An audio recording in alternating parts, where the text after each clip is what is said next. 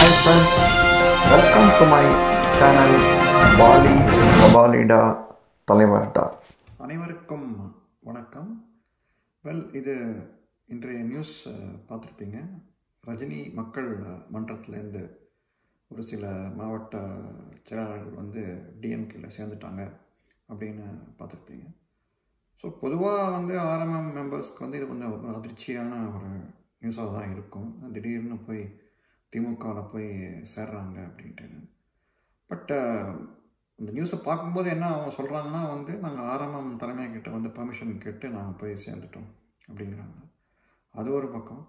But இன்னொன்று பார்த்தீங்கன்னா அந்த நியூஸில் நம்ம இன்னொன்று ஆராய்ச்சி பண்ணணும் பார்த்தீங்கன்னா வந்து அந்த ஸ்டாலின் அப்படின்றதுல அந்த இருக்கிறவர் வந்து தூத்துக்குடி மாவட்ட செயலாளராக இருந்திருக்காரு ஆரம்பமில் அவர் வந்து ஏற்கனவே திமுகவில் தான் நான் இருந்தேன்.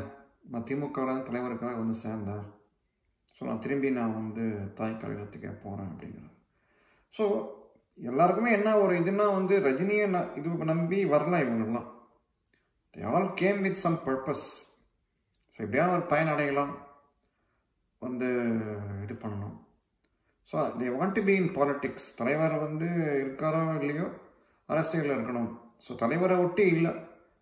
ஸோ இப்போ இவனை மாதிரி ஆகலாம் நம்பி தலைவர் சப்போஸ் கட்சி ஆரம்பிச்சா என்ன ஆயிருக்கும்? யோசிச்சு பாருங்க.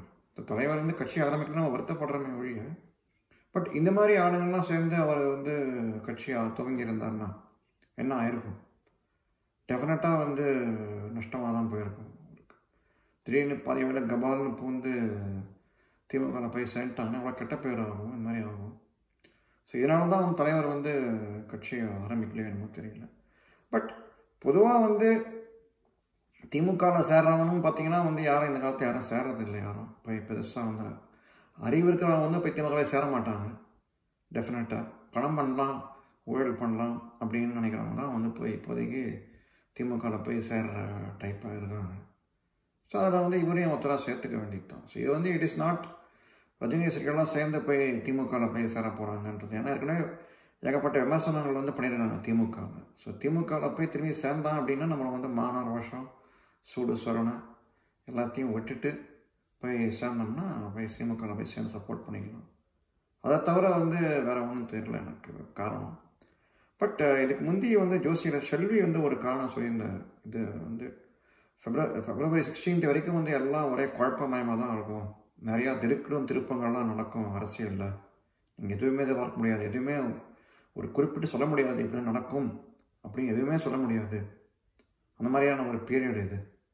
அதனால் நான் வந்து எங்கிட்ட ஜோசியமே கேட்குறவங்களுக்கு வந்து வந்து கம் ஆஃப்டர் ஃபெப் சிக்ஸ்டீன்த் அப்படின்னு தான் நானே சொல்லியிருக்கேன்.